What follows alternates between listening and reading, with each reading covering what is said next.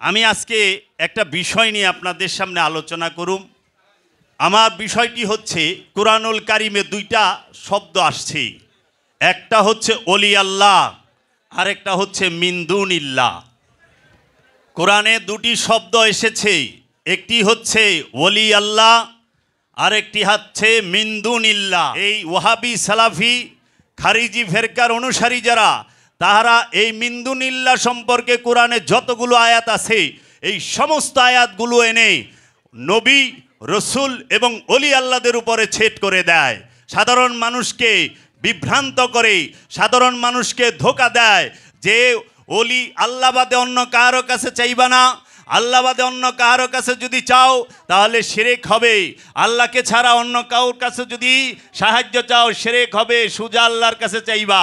কোনো নবীর কাছে সে উসিলার মাধ্যমে সাহায্য চাইবা না, কোনো রসুলরে দইরা সাহায্য চাইবা না, কোনো অলির কাছে যায় সাহায্য চাইবা না, কোনো মাজারের কাছে যায় সাহায্য চাইবা না, মাজারে যাইবা না, মাজারে সেজদা দিবা না, মাজারে সাহায্য চাইবা না। কারণ এরা মিন্দুনিল্লা, এই কথা বলে নৌজুবিল্লাহ মিনজালিক নবী কখনো মিন্দুনিল্লা নয়, আল্লাহর বাহিরে কখনোই নবী নয়। নবীর মধ্যেই আল্লাহ থাকে, নবীর বাহিরে আল্লাহ থাকে না। অলির বাহিরে আল্লাহ থাকে না। রসুলের বাহিরে আল্লাহ থাকে না। সেই দলিলগুলো আজকে তুলে ধরা হবে কোরআনুল মাজিদ থেকে একটি একটি করে যে কোরআন কি বলেছে আর এই আলেম নামের জালেমরা কি বলে? এই আলেম নামের জালেমরাই আজকে এই অলিদের উপরে জুলুম করে, এই নবীদের উপরে জুলুম করে, এই রসুলদের উপরে জুলুম করে, যে আয়াত নাজিল হয়েছে মিন্দুনিল্লার উপরে, মূর্তির উপরে সেই আয়াত আইনা দিয়া লাগায় দেয় রসুলের উপরে, নবীর উপরে। মিন্দুনিল্লার আরেক নাম হচ্ছে মূর্তি। মূর্তিকে আরবিতে মিন্দুনিল্লায় বলা হয়েছে এবং ইশারা করা হয়েছে মূর্তিকে। মূর্তি ভাস্কর্য এবং এই বুত যেটাকে বলা হয় ফার্সিতে বুত বুত মানেই মূর্তি। এই মূর্তি সম্পর্কে যতটি আয়াত আসছে, প্রত্যেকটা আয়াতকে আইনা অলিদের সাথে সেট করে দেওয়া হয়েছে, নবীদের সাথে সেট করে দেওয়া হয়েছে, রসুলদের সাথে সেট করে দেওয়া হয়েছে। আমি আজকে সেইগুলো তুলে ধরবো আপনাদের সামনে। কোরআনুল মাজিদে অসংখ্য আয়াত আছে, যেগুলো আপনারা তাজ্জুব হয়ে যাবেন। এই ওহাবিরা কত চতুরতা করে, কত কৌশল করে। ওহাবি ফেরকার অনুসারীরা কৌশলে একজন ইনসানে কামেলকে ওলিয়ে কামেলকে মূর্তি বানিয়ে ফেলেন এবং বিভ্রান্তি তৈরি করার তরে অনেক রকম কথা বলে থাকেন। যেমন টেলিভিশনের পর্দায় কিছুদিন আগেও বিভ্রান্ত করার কৌশল অবলম্বন করে প্রচার করা হতো, পীর পূজা ইসলামেতে নাই।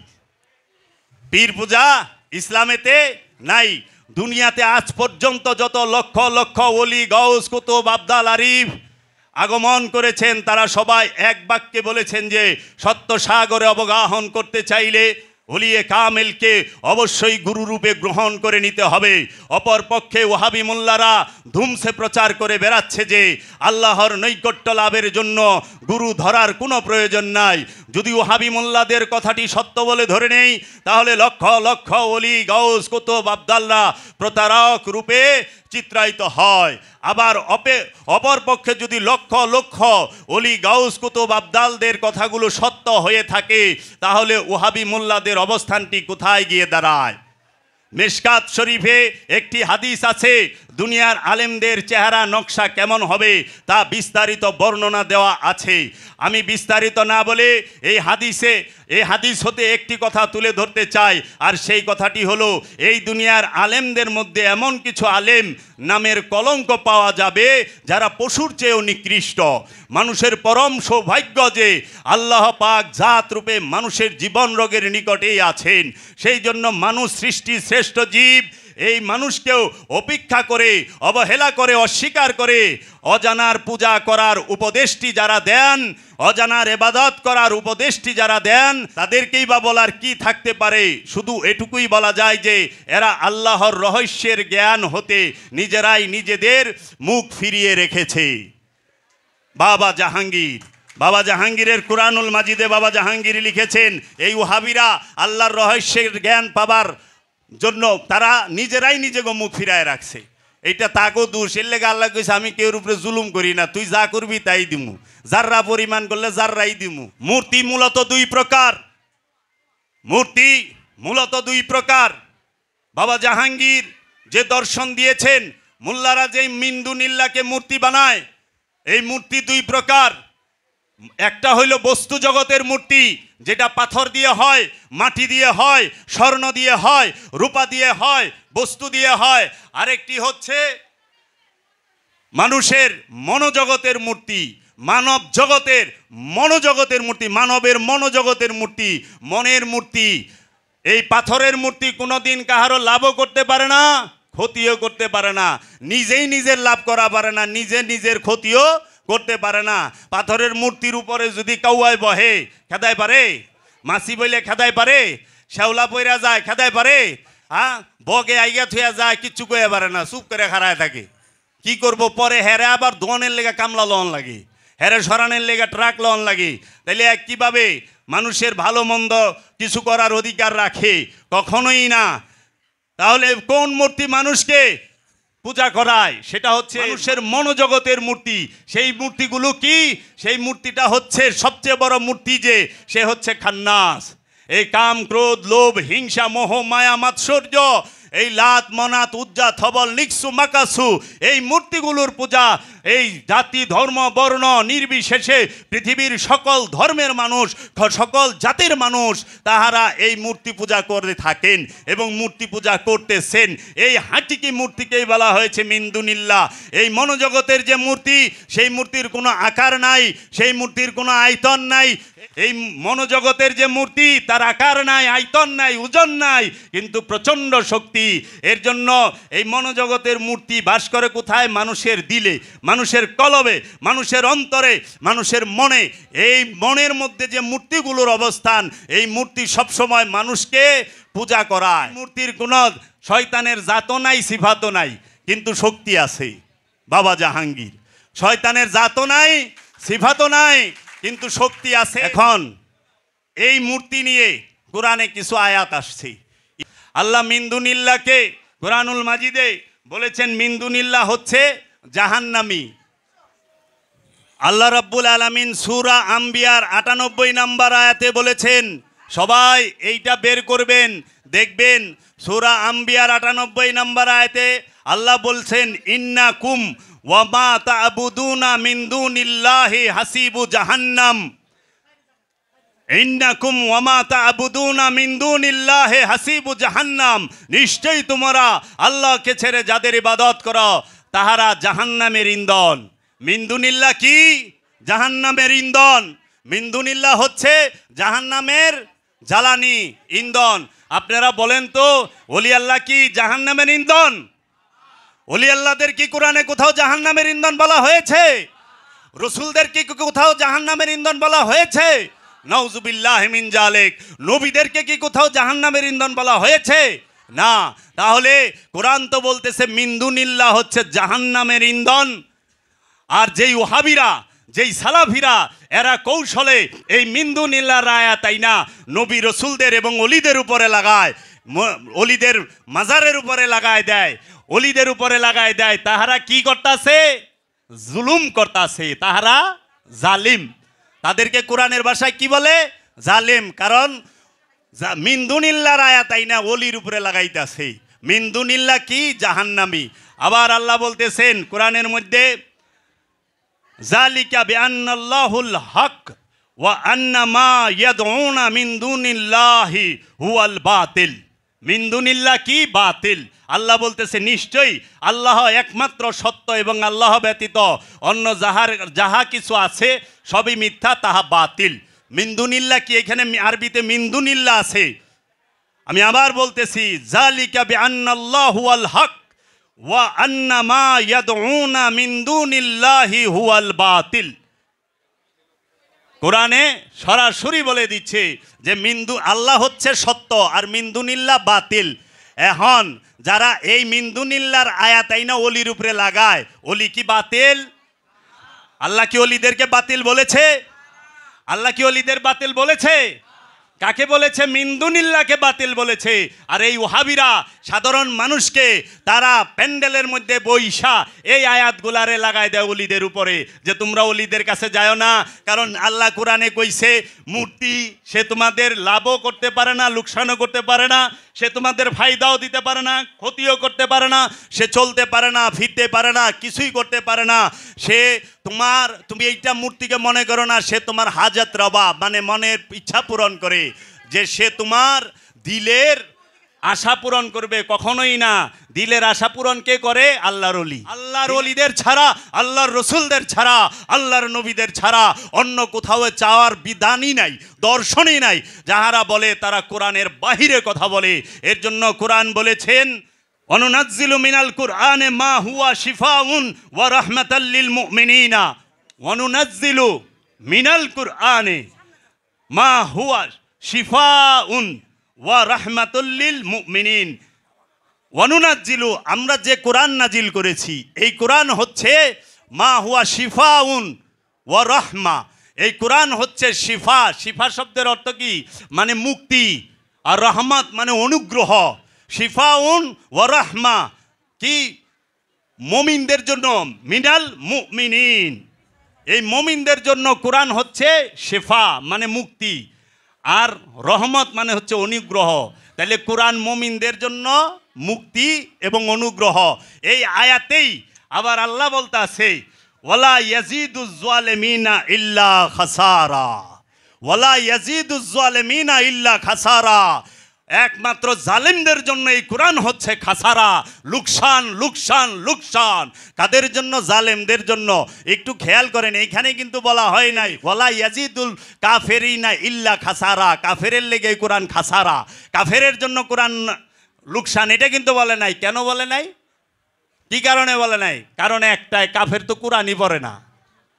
কাফের কোরআনের তফসির করে? কাফের কোরআনের অনুবাদ করে?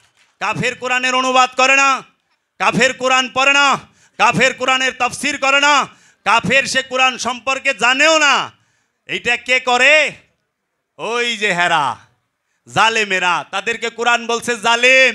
তারা আরবি আয়াতের অর্থ যেটা ওইটার ভুল অনুবাদ করে থুয়া দেয়। আয়াত নাজিল হয় মূর্তির উপরে হে আয়াত নিয়ে লাগায় দেয় অলির উপরে। এরাই জালেম। এই মোল্লার গোষ্ঠী যেগুলা নাকি ওহাবি খারিজি এগুলাকেই কোরআনের ভাষায় বলা হয়েছে? জালেম। এরাই জালেম। এরাই এই কোরআনের অনুবাদ করে ভুল যে জায়গায় আছে, আমানু কইরা থুইছে মমিন। দর্শনই পাল্টায় দিছে। মমিন হলো খান্নাস মুক্ত নফস, যার নফসের উপরে রূপী রব জাগ্রত এবং প্রকাশিত এবং বিকশিত যে সব সময় মানুষে রবের চেহারা নিয়া এই নফসটি, পবিত্র নফসটি রবের নূরের মধ্যে ডুবে আছে, সে হইল মমিন। আর আমানু হইল শয়তান যুক্ত। সাধক, শয়তান দুর্বল রূপে থাকে আমানুর মধ্যে। আর কোরআনেই আল্লাহ কয়ে দিস আমানুর লগে শয়তান থাকে, কিন্তু মমিনের লগে আল্লাহ থাকে, এক লাইনে। ইন্নাল্লাহ মাল মুমিনিন। নিশ্চয়ই আল্লাহ আমি মমিনদের সাথে থাকি। কোরআনে কোথাও বলে নাই, ইন্নাল্লাহ মাল আমানু। আমি আমানুর লগে থাকি নাই। আমানুর লগে শয়তান থাকে আর মমিনের লগে আল্লাহ থাকে। অহনে মোল্লায় আমানুরই মমিন বানায় থিছে তো মমিনের অর্থ কি করব? আমানু আরবি শব্দ মমিনও আরবি শব্দ। এক আরবি শব্দ দিয়ে আরেক আরবি শব্দের বাংলা করে থিছে মমিন আরবি শব্দ, আমানু আরবি শব্দ। না আমানুর বাংলা অর্থ করছে মমিন। এটা অর্থ হইল না ধোকা হইল? এর জন্য ইউরোপের এক দার্শনিক বলেছেন, অনুবাদকের আরেক নাম হইল গাদ্দার, বিশ্বাসঘাতক। অনুবাদকের আরেক নাম বিশ্বাসঘাতক, যাহারা মিন্দুনিল্লার উপরে আয়াত এসেছে, সেই মিন্দুনিল্লার আয়াত লাগাই দেয় অলিদের উপরে। অলিদেরকে কি বল, অলিরা বলে কিছু করা পারে না। কোরআন কি সেটা বলে? কতটি প্রমাণ লাগবো, নবীরা বলে কিছু করা পারে না। আমি তো দেখি সব নবীরা আর অলিরাই করছে। আল্লাহ নবী অলিগো দেই সব করাইছে, রব্বুল আলমিন নবী অলিগে দেও সব করাইছে, এটা সেকেন্ড ক্লাস ওয়াজ করলাম। আল্লাহ কোরআনে বলেছেন ফালা তাদ উজ্জিকরা মা আল কৌমিজ জালেমিন। সুতরাং সংযোগ যোগাযোগ আসার পরে জালেম সম্প্রদায়ের নিকট বসিও না। যখন আপনি মুর্শিদে কামেলের কাছে বায়াত হইছেন, অলিয়ে কামেলের কাছে বায়াত হইছেন, বায়াত হওয়ার পরে মানে সংযোগ যোগাযোগ আসার পরে জালিমের কাছে বইবেন না করছি। এই ওহাবি মোল্লার কাছে যাইবেন না, ভুলেও। ওর কাছেও বইয়েন না, কারণ আল্লাহ নিজে কয়ে দিছে যাইও না আছরয় কারণ সোহবত এমন এক জিনিস দেখেন, মাছ পানির মধ্যে থাকে। পানি ছাড়া মাছ বাঁচতে পারে না। কিন্তু পানিতে থাকতে থাকতে এমন এক গন্ধ হয়ে যায় মাছের শরীরে যে ওই মাছ যারে ধরে, যে মাছেরে ধরে তার হাত সুদ্ধা গন্ধ হয়ে যায়। যেই বাজারে যায় ওই বাজার সুদ্ধা গন্ধ করে দেয়। কারণ সে বুঝায় যে আমার সম্পর্কটা, প্রেমটা পানির সাথে আসিল। আর আপনি যখন মাছেরে ধরবেন, তখন এই গন্ধ এইখানে যাইব। তো ওহাবির লগে আটবেন, স্বভাবের মধ্যে ওহাবির গন্ধই কইব। এর লেগে আল্লাহ কইছে, খবরদার জালিমের কাছেও যায় না, জিকির, সংযোগ আসার পরে ভুলেও যায় না, এই আয়াতটা হচ্ছে সুরা আন আমের ছয় নম্বর সুরার আটষট্টি নাম্বার আয়াত। খুইলা খুইলা পড়বেন। রাখব না, ব্যবসা বন্ধ হয়ে যাব গা। মোল্লা, সাধারণ মানুষে ধরবো। যে দেখেন, আর সবাইকে অনুরোধ করি, এক কোরআনের তাফসির পইরা, অনুবাদ পইরা কোনোদিন তর্কে লিপ্ত হবেন না। ওহাবি হন, খারিজি হন, সুন্নি হন, যেই হন, মিনিমাম ছয়ের থেকে সাতটা অনুবাদ পড়বেন ছয়ের থেকে সাতটা তফসির পড়বেন। তখন দেখবেন কোরআনের অনুবাদে পুকুর চুরি হয় নাই, সমুদ্র চুরি হইছে। সমুদ্র চুরি হইছে। দেখবেন, কোরআনের আয়াত সবখানে এক আছে, পাঁচটা অনুবাদে পাঁচ রকম অর্থ কইরা থুয়া দিছে। কেউ সালাতের অনুবাদ করছে কোরআন, কেউ ফজরের অনুবাদ কইরা থুইছে নামাজ, কেউ রুহের অনুবাদ করছে জিব্রাইল, কেউ আমানুর অনুবাদ করছে মমিন, কেউ মমিনের অনুবাদ কইরা থুইছে বান্দা। মানে হজবর অবস্থা একেরে ডাইলে সাইলে খিচুড়ি বানায় থুইছে। এর জন্য মিনিমাম পাঁচটা অনুবাদ করবেন, তারপরে টের পাইবেন। কাবার ভিতরে মূর্তি আসিল তিনশো ষাটটা। এই তিনশো ষাটটা মূর্তি আবার এক একজনের। এটি কি পাথরের মূর্তি? নাকি এটার অনুবাদটা গলত করে থিছে কিংবা এই উমাই আব্বাসিয়া রাজবংশ চক্রান্ত করছে, হাকিকি মূর্তিকে চাপা দেবার জন্য মেজাজি দাঁড় করাইছে? পাথরের মূর্তি তো মানুষের ক্ষতি করতে পারে না, লাভ লোকসান করতে পারে না, কিন্তু লোভ নামক মূর্তি মানুষকে তার জীবনটা নষ্ট করে দিতে পারে। মানুষ লোভে, সম্পদ জমাকারীরা সম্পদের লোভে একটা জাতিকে ধ্বংস করে সম্পদ জমাকারীরা সম্পদের লোভে পড়ে, তারা একটা দেশকে ধ্বংস করে। সম্পদ জমাকারীরা সম্পদের লোভে পড়ে, তারা মানব জাতির সবচেয়ে বড় ক্ষতি করে। আমরা কি দেখি নাই সম্পদ জমা করার জন্য পৃথিবীতে বড় বড় দুইটা যুদ্ধ হয়েছে প্রথম বিশ্বযুদ্ধ, দ্বিতীয় বিশ্বযুদ্ধ। দ্বিতীয় বিশ্বযুদ্ধের সময় অ্যাডলফ হিটলার সে দুই কোটি দশ লক্ষ মানুষ মারা খুন করছে। দুই কোটি দশ লক্ষ মানুষ। ইতিহাস সাক্ষী। এটা কি এর লেগা? দিন প্রতিষ্ঠার লেগা না সম্পদ জমানের লেগা? আফগান ধ্বংস করে দিল, ইরাক ধ্বংস করে দিল, তেলের লেগা, সম্পদের লেগা। মানুষ মারলো, লুবে পইরা সম্পদ জমাকরণের লেগা। আর আজকে আমাদের সমাজে যারা সম্পদ জমাকারী, তারা যুগের মতো মানুষের নেলদারার মধ্যে রক্ত চুইসা খাইতেছে, বন মেরুর মধ্যে লেগে গেছে গা। সম্পদ জমা করার জন্য গরিব গরিবই হইতাছে, ধনী ধনী হচ্ছে। সম্পদের পাহাড় কইরা ফালাইছে। এটা কি ওই পাথরের মূর্তি দিয়া? আমাগো যে দেশের মধ্যে বিভিন্ন মুড়ে মুড়ে মূর্তি আছে, কিংবা ওই যে মতিঝিল শাপলা চত্বরে, কিংবা ওই যে রাজু ভাস্কর্য এরা করছে? নাকি আমাদের দেশে সম্পদ জমাকারীদের মনের ভিতরে যে লোভ, হিংসা, কামনা, বাসনা, অহংকার, এই মূর্তিগুলাই করছে। কে করছে? ওই বড় বড় মূর্তিগুলায় মানুষকে ধ্বংস করে ফেলাইছে, বেকারত্ব বাড়াই দিছে। এর জন্য আল্লাহ কোরআনে বলছে, সম্পদ জমাকারী জাহান্নামী, সম্পদ জমাকারী জাহান্নামী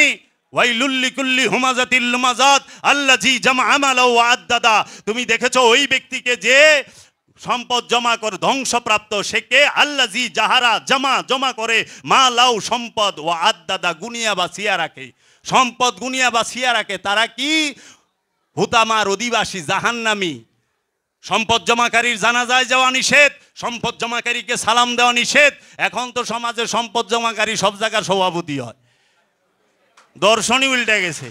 সত্যকে কইব? সত্য কইতে বুকের পাটা লাগবো। বাবা জাহাঙ্গীর, তার মারে ফতের গোপন কথাই বইলা গেছে। মারে ফতের গোপন কথা যদি কোনো সম্পদ জমাকারীর হাতে পড়ে, উ, এইটার জাতি সাপ মনে করব। হাই হাই রে, কোন সময় আমার সুবল দেয়? বাবা জাহাঙ্গীর মারে ফতের গোপন কথায় বলেছেন, এই সম্পদ জমাকারীর বিরুদ্ধে কলম ধরেছেন বাবা জাহাঙ্গীর। বাবা জাহাঙ্গীর সমাজের এমন কোনো হেনকর্ম নাই যে এর বিরুদ্ধে কলমের যুদ্ধ না চালিয়েছেন। এর জন্য মহানবীর একটি হাদিস আছে, শহীদের রক্তের থেকেও মর্যাদাবান হচ্ছে একজন জ্ঞানীর কলমের কালি। বাবা জাহাঙ্গীরের কলমের কালি, সেইটা একজন শহীদের রক্তের চেয়ে মর্যাদাবান। বাবা জাহাঙ্গীরের কিতাবগুলো পড়ে দেখবেন, তখন